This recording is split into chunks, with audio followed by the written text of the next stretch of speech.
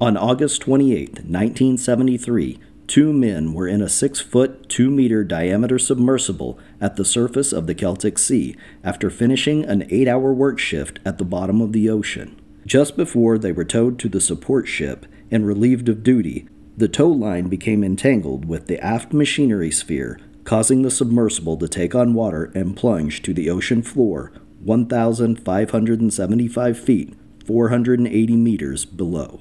This is the story of the Pisces 3 dive disaster.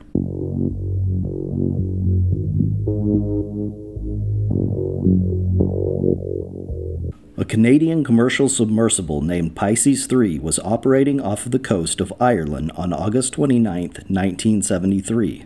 The Pisces 3 is 6 feet 2 meters in diameter and holds two people.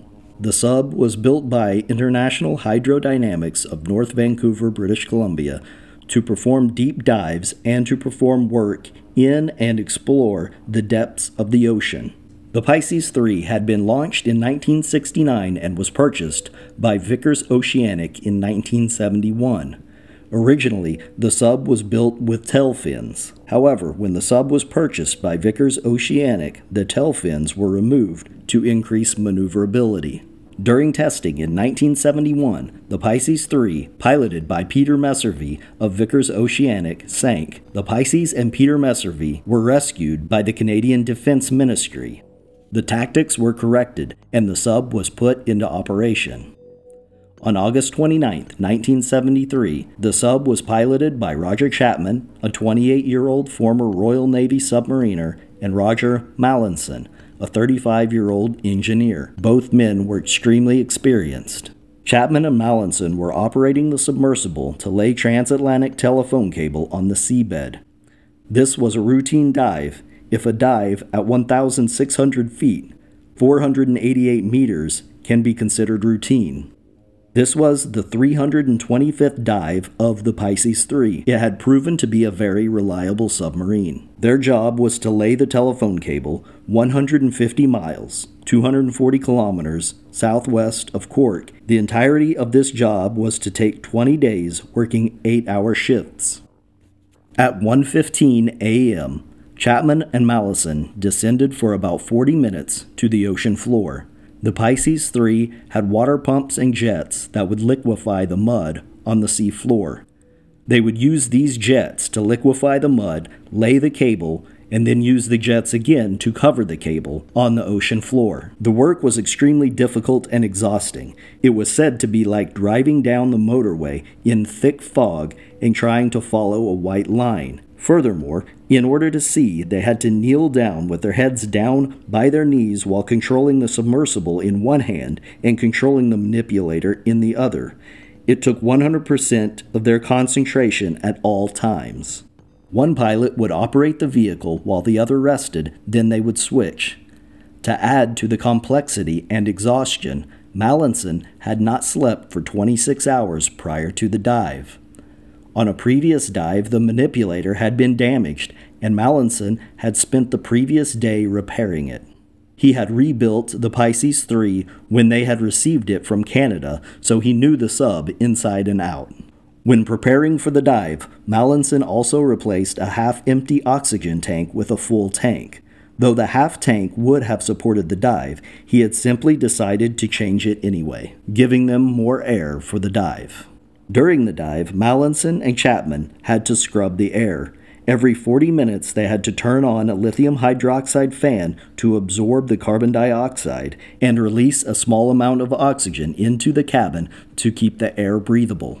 This dive was successful, and after their eight hour shift was finished, they began their ascent. They ascended and arrived at the surface at 9:18 a.m.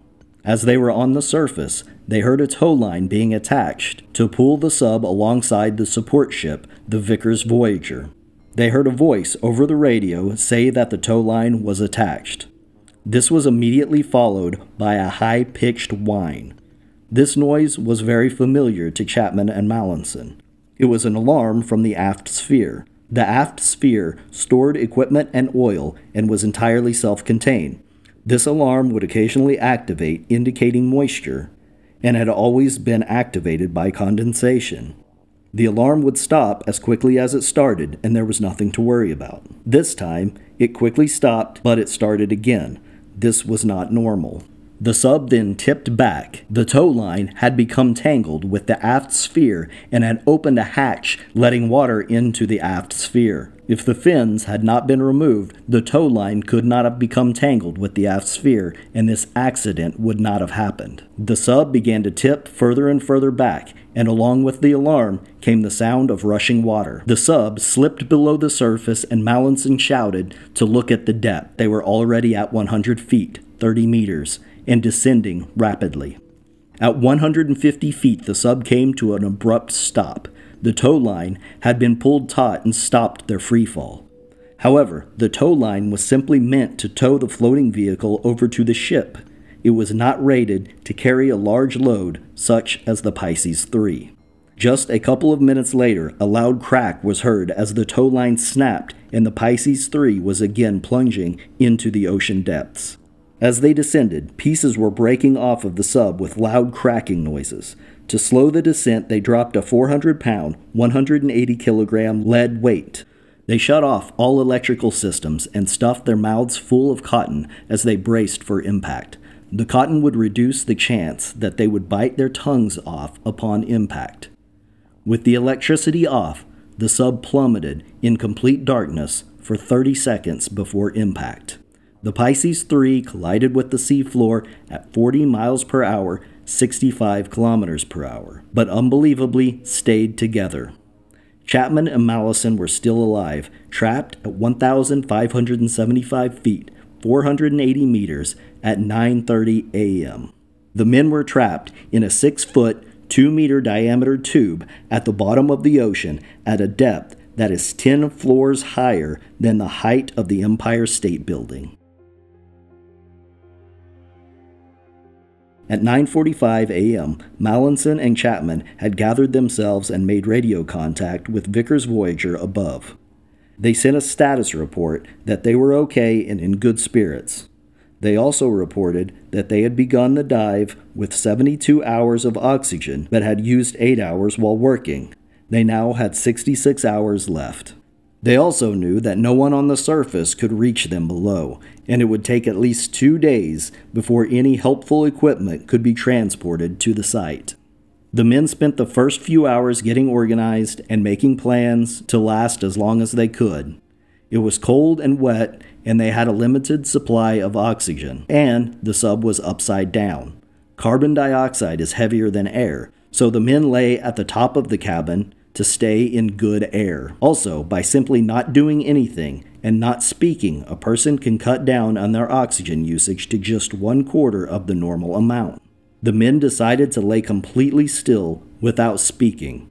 Periodically, one would reach over to the other and squeeze his hand to let him know that he was okay. That day, the Royal Navy, the U.S. Navy, and the Canadian Coast Guard were informed of the emergency and all jumped into action.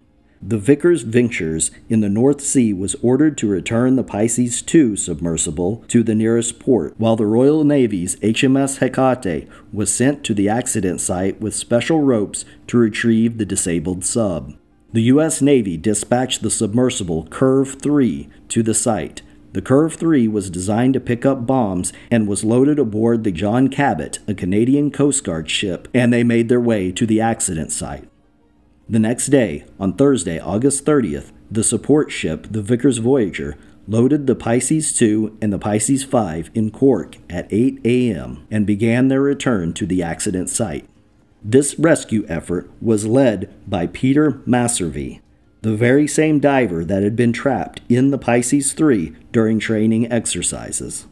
Peter Messervy was well aware of what the divers were going through and was extremely motivated to get them back.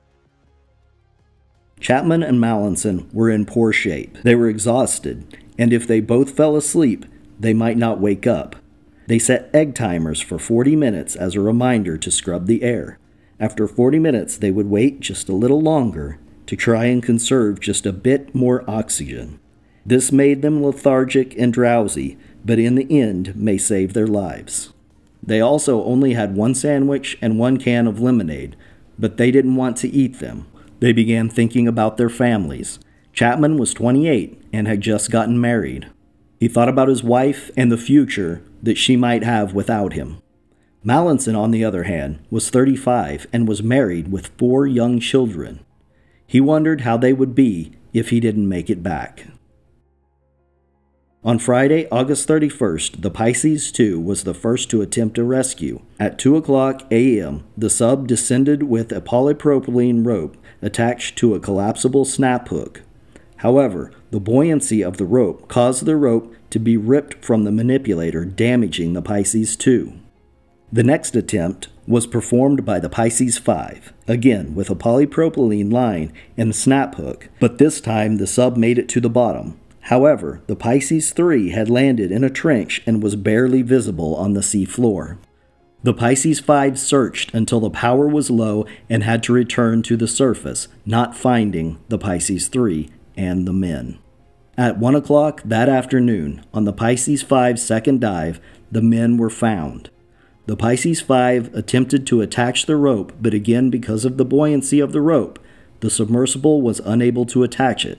The Pisces II again descended, but during descent, water flooded the sphere and the Pisces II again had to return to the surface. During these attempts, the Canadian John Cabot arrived with the U.S. CURV 3. However, it was soon discovered that the CURV 3 had an electrical issue and could not launch. Just after midnight, the Pisces 5 returned to the surface to join the other two disabled submersibles. With everything going wrong, at this point, hope for Chapman and Mallinson was almost gone. They had now been in the sub for longer than 72 hours. Their window had closed, and there was no submersible that was currently capable of bringing them to the surface. The only thing that gave them hope and connected them to the surface was a group of dolphins. They had seen the dolphins on the 28th and could now hear them chirping in the water through the underwater telephone line. This gave them a connection to the surface that gave them hope. Knowing that the men were nearly out of oxygen, the surface crew had one last chance if it wasn't already too late. They sent the Pisces II with a line. This time it was a success. Just after 5 a.m. Saturday morning, the Pisces II was finally able to attach a line.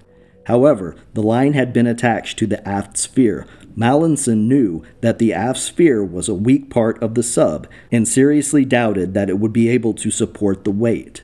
Peter Messervy was not going to take any chances with a single line, so he did not attempt to raise the sub with the single line. At 9:40 a.m., CURV 3 descended and fixed a second line to the aft sphere. When the second line was attached, Chapman and Mallinson knew that they were not out of the woods yet, but shared the sandwich and the lemonade as there was no point in saving it now. At 10:50 the lift began. As soon as the sub lifted off of the surface, it began moving and spinning violently, completely disorienting the divers. The lift was slow, but progress continued until 350 feet, 106 meters, when it was stopped. CURV 3 had become tangled in the line and had to be removed. Once CURV 3 was detangled and it was safe, the lift continued until 100 feet, 30 meters, when it was stopped a second time. More and heavier ropes were added to stabilize the lift. The crew on the surface knew that the lift was extremely violent and didn't know if Chapman and Mallinson had made it. But at 1:17 Saturday afternoon, the Pisces 3 surfaced when the crew looked inside, Chapman and Mallinson were alive to their disbelief. But they weren't done yet. The hatch had been jammed by the impact with the sea floor, and Chapman and Mallinson were almost out of air. It took 30 minutes to get the hatch open. The divers were finally free of the sub. They had been in the Pisces 3 for 84 hours and 30 minutes. The 72 hours of air that they had, they were able to extend by 12 hours and 30 minutes. When they were removed and checked the oxygen tank, they had only 12 minutes of oxygen left. This is the deepest rescue from a submarine in history. Both men physically recovered from the accident with only minor lingering psychological effects. Chapman became a leading authority on rescue submersibles and played an instrumental role in rescuing the seven man crew of the Russian submarine AS 28 Priz in 2005. Mallinson continued working for Vickers for several years and then restored steam engines. He and Chapman stayed in touch, meeting up every year until Roger Chapman died at the age of 74 in January of 2020. This is True Mysteries. Please like, comment, and subscribe. Thanks for watching.